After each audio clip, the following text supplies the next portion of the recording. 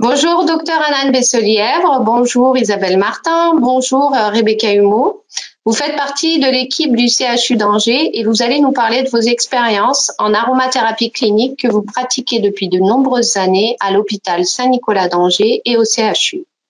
En effet, en 2014, vous avez obtenu le premier prix de reconnaissance de la Fondation Gattefossé suite à vos communications sur les bénéfices de l'aromathérapie clinique comme approche non médicamenteuse en soins palliatifs.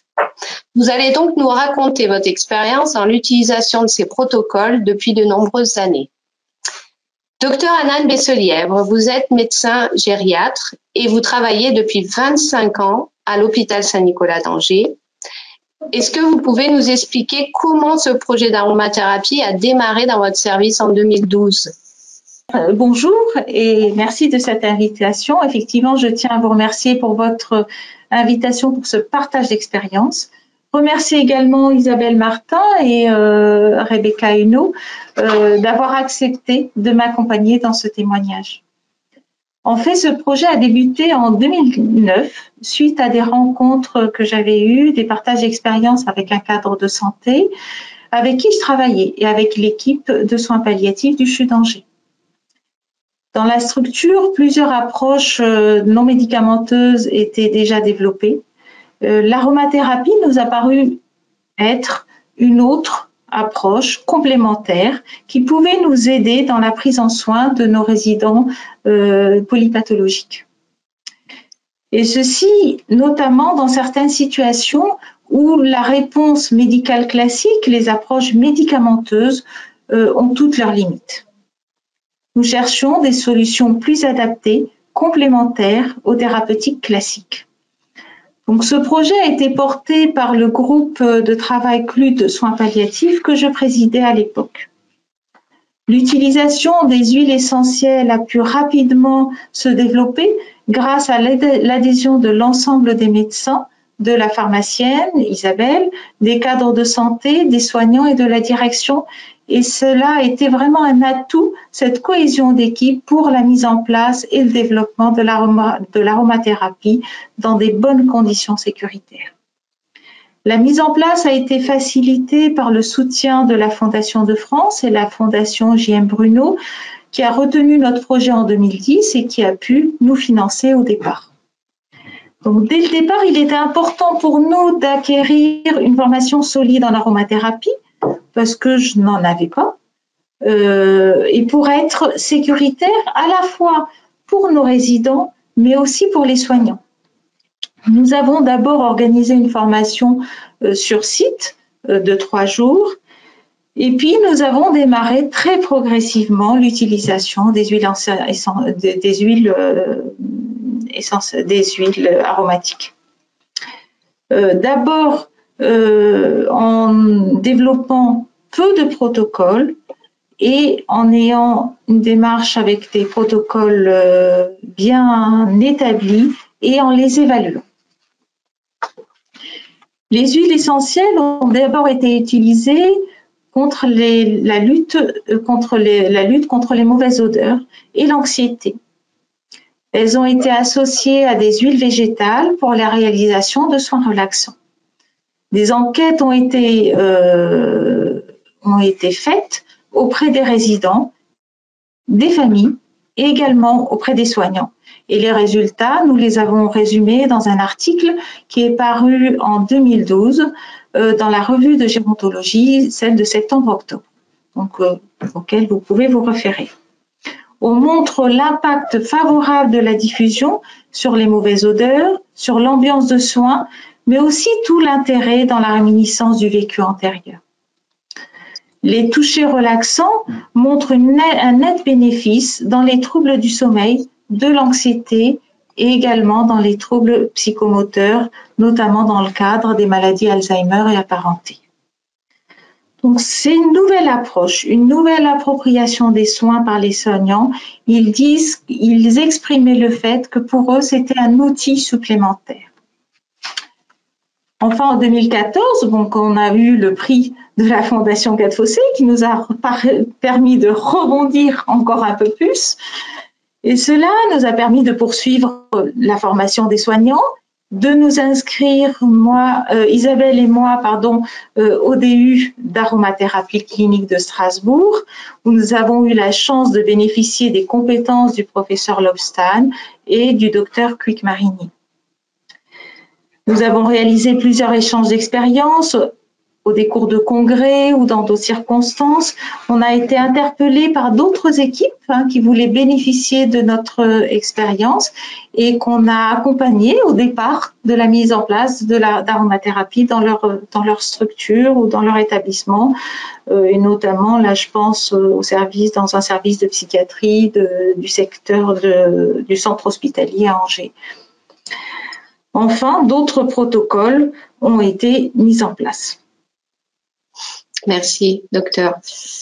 Euh, Isabelle, Isabelle, vous êtes pharmacien hospitalière euh, et vous travaillez depuis 11 ans à l'hôpital Saint-Nicolas d'Angers. Vous étiez donc en charge de commander les huiles essentielles et vous avez aussi travaillé sur le choix des huiles essentielles pour les protocoles. Pouvez-vous nous en dire plus? Alors bonjour tout d'abord. Alors comme vous l'a dit euh, le docteur Besselièvre. Nous avons fait le DU d'aromathérapie, le DIU d'aromathérapie clinique de la faculté de Strasbourg en 2015. Alors moi, ce qui m'a surtout marqué euh, au départ, c'est nous y avons appris que la qualité d'une huile essentielle est primordiale si l'on veut pratiquer l'aromathérapie. Alors c'est des huiles euh, essentielles certifiées bio, et puis des huiles essentielles dont le fournisseur va pouvoir nous donner la composition chimique précise grâce à des chromatographies que l'on peut demander. Ainsi, on pourra savoir si, euh, si ça contient des cétones, ce qui peut être préjudiciable pour nos, pour nos soignants et pour nos résidents ou patients. Donc, on va avoir la composition précise grâce à cette chromatographie. Donc moi, j'ai pris le parti, mais ce n'est pas le cas dans tous les établissements, de m'associer à cette démarche. Et comme c'était quand même euh, un produit chimique, je me suis dit, il faut que la pharmacie référence des huiles essentielles, ce qui n'est pas le cas partout. Donc il y a quand même quelques huiles essentielles qui sont à la pharmacopée européenne et donc c'est quand même dans, à mon avis, dans les compétences du pharmacien de référencer ces huiles. Donc, euh, moi, j'étais en charge de garantir la qualité des huiles, hein, c'était surtout ça, mais le choix à proprement parler des huiles essentielles, il a été fait avec un groupe de travail, été fait par un groupe de travail, médecins, cadres et moi-même notamment, à partir de ce que nous avions appris à Strasbourg et en adéquation avec la population accueillie.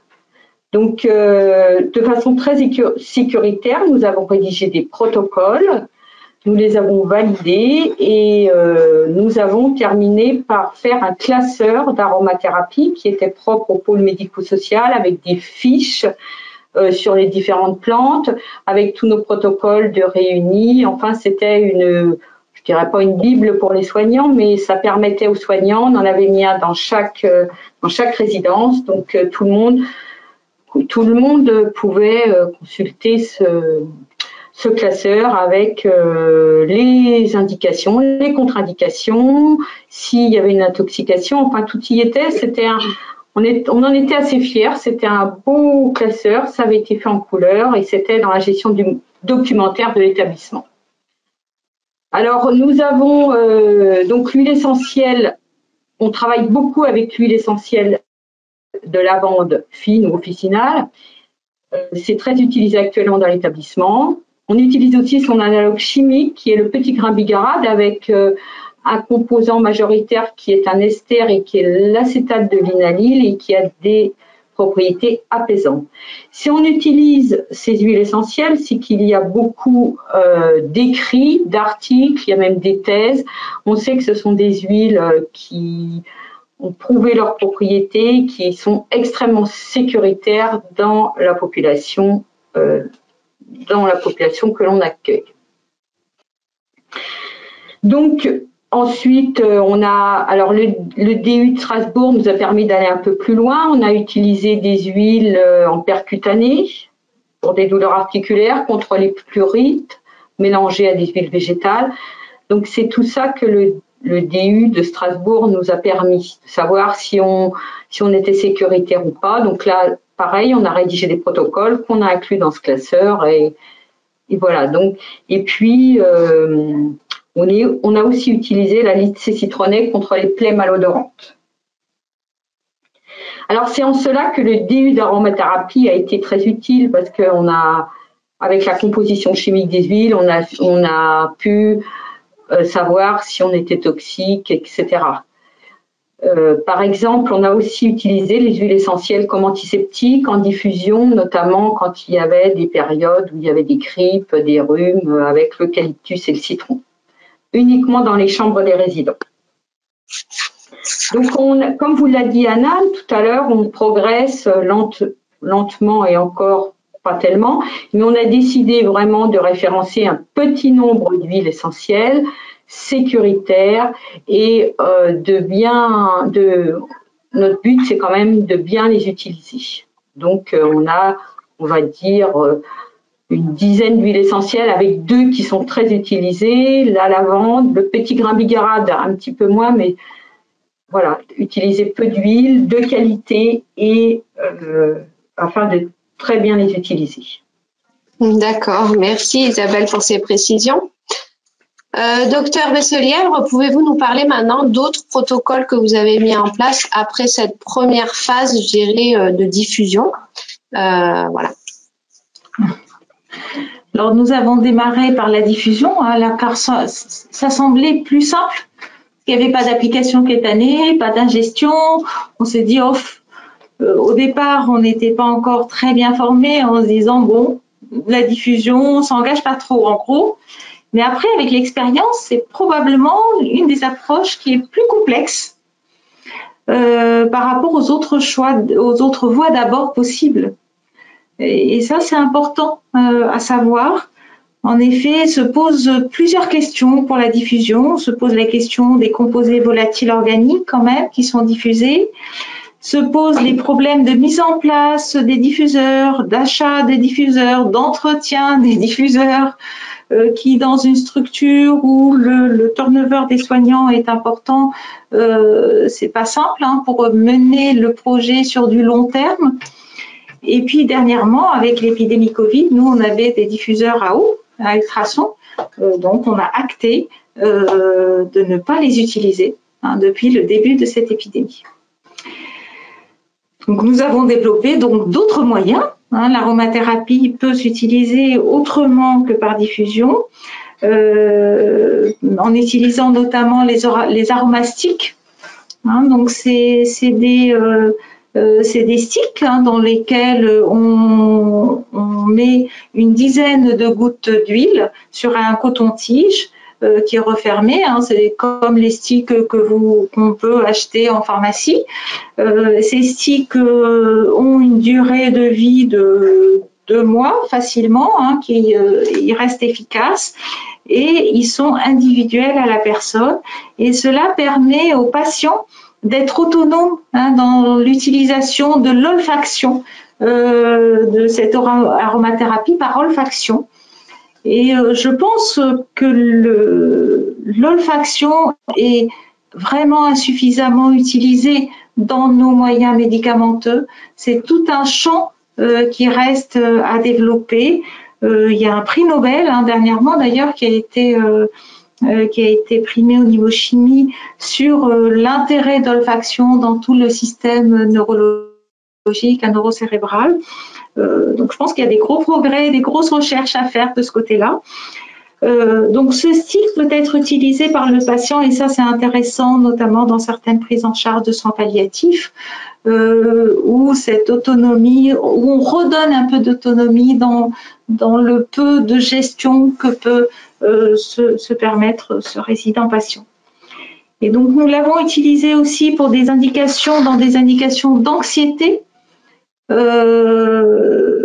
de nausées, euh, d'infections respiratoires.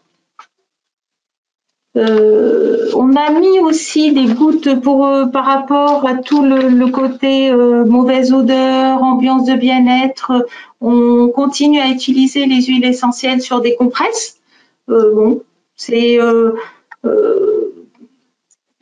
c'est moins intéressant que par la diffusion, mais ça permet au moins d'avoir euh, euh, une réponse transitoire hein, dans, cette utilisation-là.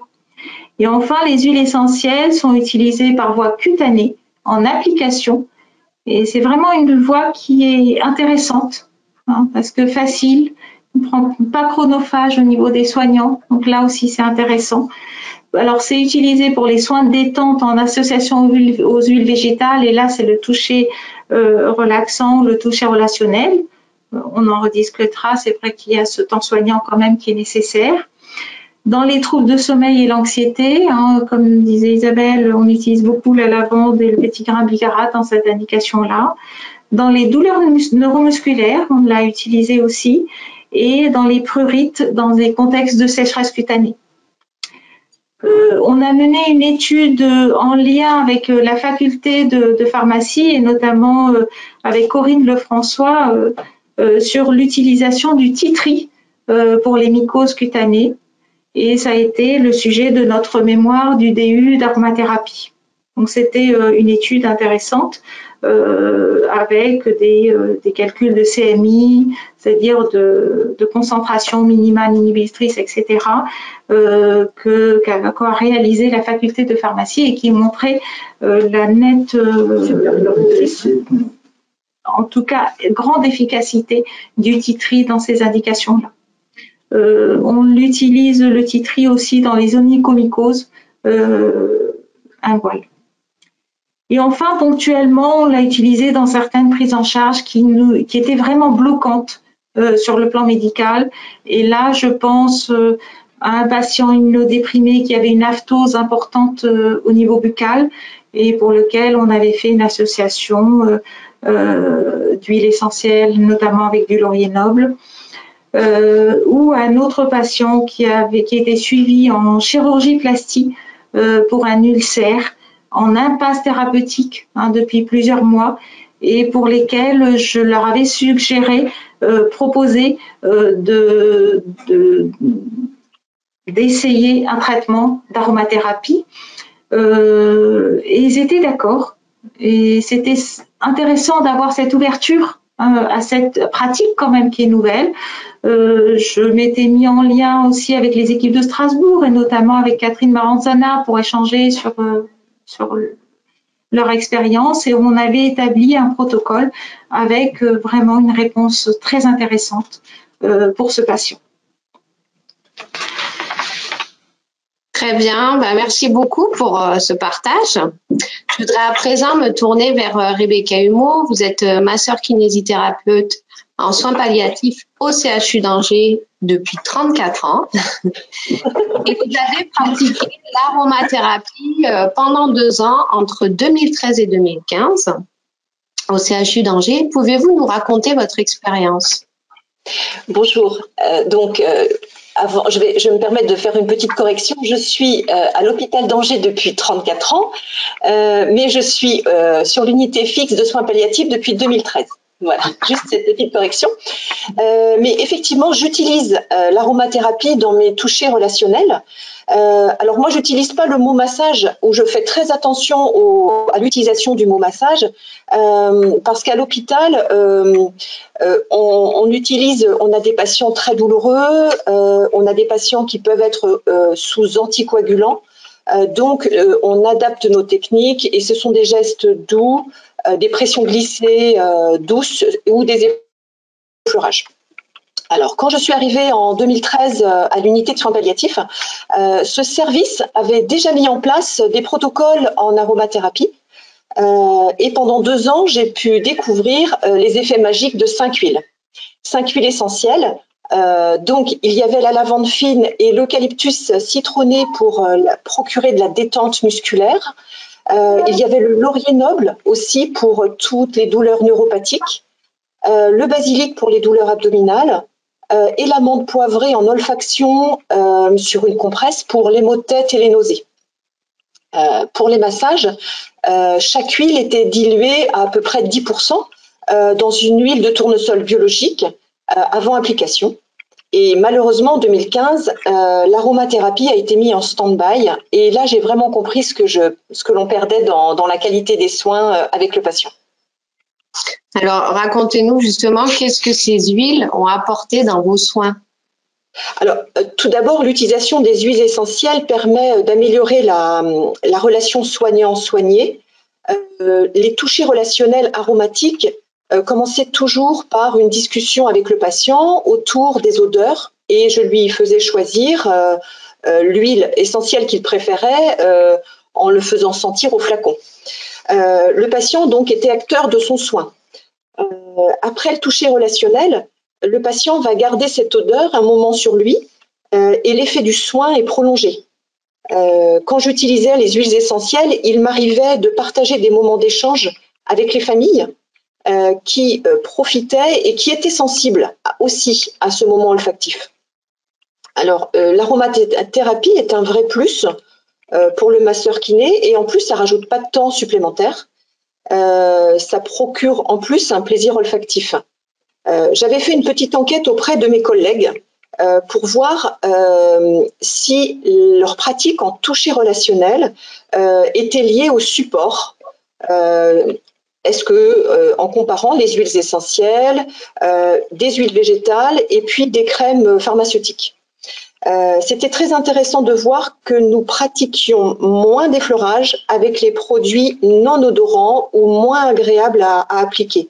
Je me suis d'ailleurs rendu compte que j'avais moi-même fait beaucoup moins de massages euh, quand on a arrêté l'aromathérapie. Euh, la dernière chose, c'est que euh, ce soin aromatique est 100% naturel. Il y a deux composants, une huile végétale et une huile essentielle biologique. et je pense que c'est mieux d'appliquer ça à un patient qui reçoit plein de médicaments à la place de produits commerciaux remplis de conservateurs et d'excipients. Merci beaucoup Rebecca. Merci à toutes les quatre, enfin à toutes les trois, pardon. Une nouvelle équipe Aroma euh, se crée donc au sein du CHU d'Angers avec la sous-commission moyens non médicamenteux. Quels vont être vos objectifs pour la suite Anan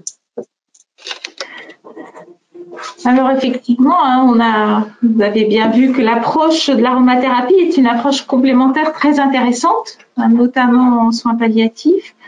Euh, cette approche de, est une réponse euh, à disposition notamment des équipes de nuit. Hein, et ça aussi, on n'en a pas parlé beaucoup des équipes de nuit, mais je, voulais quand même faire euh, une parenthèse à ce sujet-là parce que ça leur permet d'avoir une certaine autonomie Hein, dans, les applications et d'éviter certains protocoles médicamenteux pas toujours indiqués. Et puis, euh, je voulais rapporter aussi, avant de, répondre hein, par rapport à la, à, à la question sur la suite, le, travail qui avait été fait euh, pour un mémoire hein, réalisé par Madame Lemar, qui était cadre de santé chez nous, auprès de soignants volontaires et qui ont bénéficié d'un temps bref euh, de toucher euh, relaxant de, au niveau des mains avec des huiles végétales et des huiles essentielles au décours de leur travail, donc à la fin de leur journée de travail, et qui a noté vraiment un net bénéfice pour les soignants. Et là, on est dans le champ de, euh, de commence, de soutien soignant, de qualité de, au travail. Je pense qu'il y a aussi toute cette euh, partie-là euh, qui est intéressante et qui a à réfléchir. Euh, actuellement, c'est vrai qu'on a des difficultés au niveau du temps, hein, du temps soignant. Hein, ça reste notamment dans des contextes de réduction d'effectifs hein, sur, les, hôpitaux. Ceci dit, souvent on gagne du temps à avoir une réponse adaptée et c'est le message que j'essaye de transmettre en évitant souvent d'autres complications qui sont plus chronophages, qui vont être plus chronophages, tout compte fait. Hein. Donc c'est vrai que si on prend un temps d'un quart d'heure, euh, dix minutes, un quart d'heure, et eh ben ce temps-là probablement on le gagnera en apaisant cette personne et qui ne va pas, nous solliciter par exemple à multiples reprises euh, plus tard. C'est qu'un exemple. Donc, suite à cette fusion, donc, euh, ben, on participe maintenant au groupe de travail de la sous-commission du CHU, dont sont responsables Isabelle et Rebecca. Euh, et bien sûr, je participe à, ce groupe de travail. Euh, donc, d'autres protocoles sont en cours de, réalisation. cela permet encore de partager encore plus notre expérience. Euh, on va privilégier toujours les utilisations de peu d'huile essentielle, euh, des protocoles simples, privilégier la formation hein, des soignants. Euh, mais bon, c'est une plus grosse machine, donc il va falloir s'adapter aussi à ça, à ce rythme qui est un petit peu différent dans le développement des, des protocoles et des actions à mener. Et puis, euh, je pense que par contre, euh, on va pouvoir euh, développer des, actes, des axes de recherche, j'espère, plus facilement du fait de, l'appui de la structure hospitalière universitaire. Une, une, des difficultés, c'est aussi d'être informé de ce qui se passe ailleurs. Moi, je dis toujours, on ne va pas réinventer l'eau chaude il faut, si certaines équipes ont travaillé sur quelque chose, eh ben, qu'on puisse en bénéficier, qu'on puisse se soutenir, partager aussi des études, etc. Et pour ça, ben, je tiens vraiment à vous remercier, à remercier la Fondation Gatfossé, parce que depuis plusieurs années, eh ben, vous nous aidez à cela. Vous nous aidez à faire un état des lieux, à partager nos expériences, à nous faire connaître. Et euh, par le témoignage d'aujourd'hui, c'est aussi cet objectif-là. Donc, euh, merci encore, merci pour votre soutien. Tout à fait. Merci, docteur. Euh, Isabelle? Alors, Anne vous a presque tout dit. Aujourd'hui, on a fusionné avec le CHU. Je ne suis plus le pharmacien référent des achats parce que là, j'étais toute seule. Voilà, j'étais seule, donc j'étais polyvalente. Il y a maintenant un pharmacien qui référence. Mais elle s'appuie quand même beaucoup sur moi. Elle me dit toujours, c'est toi qui connais les huiles, c'est pas moi. Donc, euh, il y a toujours la même exigence de qualité sur le référencement des huiles essentielles. Euh, on était en laboratoire pharmaceutique. On va peut-être entrevoir la possibilité de quitter certains grands labos pour, euh, pour aller vers d'autres. Hein. Ça n'est pas complètement fermé. Euh, c'est toujours aussi sécuritaire. Les protocoles doivent être validés par le COMEDIMS, la commission ou la COMEDIMS, la commission des, médicaments et des dispositifs médicaux. Ça, euh, c'est euh, obligatoire. Donc, j'ai présenté des protocoles récemment. Il y a eu plutôt un bon accueil hein, de la part des services, une volonté de de proposer peut-être euh, des, euh, de faire des, moi je trouve plus pas des essais cliniques, mais enfin des, de la recherche. Hein, bon, donc là c'est peut-être euh, qu'on pourra, mais j'ai été très agréablement surprise. Donc la règle pour pratiquer l'aromathérapie au CHU, ça, règle, ça reste la même. Une huile essentielle de qualité bio et chémotypée à partir de protocoles validés, euh, notamment à la Comédims, qui sont intégrés dans la gestion documentaire du CHU avec l'accord du chef de service et utilisés par du personnel formé. Et comme vous l'a dit Anan, c'est peut-être là que la difficulté est la plus grande. Un grand turnover de personnel, peu de temps pour se former et euh, ça va peut-être être euh, justement le, le défi de la sous-commission d'essayer de. On a déjà les gens, on a déjà euh, référencer les gens qui, enfin les soignants. les soignants qui étaient formés. Il va falloir que, si on veut que ça continue, euh, voilà, il va falloir que bah, qu'on se penche là-dessus, qui est formé, qu'on essaye de relancer ces formations. Je pense que ça, pour euh, c'est essentiel. Et puis on a quand même quelques idées de protocole, ne serait-ce que pour faire entrer au CHU une autre huile essentielle que nous on utilise déjà euh, sur le pôle médico-social. Voilà. Donc euh, on a quand même des projets et euh, des enjeux. Bon. Voilà, des enjeux. Et vous, Rebecca? Euh, donc moi, l'aromathérapie, j'en suis convaincue, c'est un outil puissant euh, dans la relation soignant-soigné. J'attends beaucoup du nouveau groupe Aroma du CHU pour euh, remettre en route certaines huiles, car moi j'ai plus que la lavande fine dans ma boîte à outils. Et bah, la lavande, c'est une odeur qu'on aime ou qu'on n'aime pas. donc je suis très limitée. je suis sûre que nous pourrions trouver des, des synergies d'huiles intéressantes pour la détente euh, des huiles qui seraient choisies avec soin pour leur tolérance. Euh, et le soulagement de la douleur passe en grande partie par la manière dont le soignant va prendre soin du patient et l'aromathérapie permet d'améliorer ce soin et, créer un, levier d'efficacité. Donc, je vais me permettre de conclure euh, cet entretien avec la lecture d'une note qui m'a été donnée par Madame Chapotte, présidente du CLUD du CHU d'Angers et médecin anesthésiste, qui écrit L'aromathérapie retient l'attention de la sous-commission moyens non médicamenteux du CHU d'Angers à laquelle participent les personnes qui viennent d'intervenir. Madame Isabelle Martin, pharmacienne, Madame le docteur Besselièvre et Madame Rebecca Humeau, kinésithérapeute. Nous bénéficions de l'expérience de Madame Martin et du docteur Besselièvre depuis que le centre médico-social où elles exercent a intégré le CHU d'Angers. Cette sous-commission s'attache, avec l'aide de la pharmacie, à ce que l'aromathérapie soit appliquée au sein du CHU, dans le respect de bonnes pratiques et en utilisant des huiles essentielles de qualité.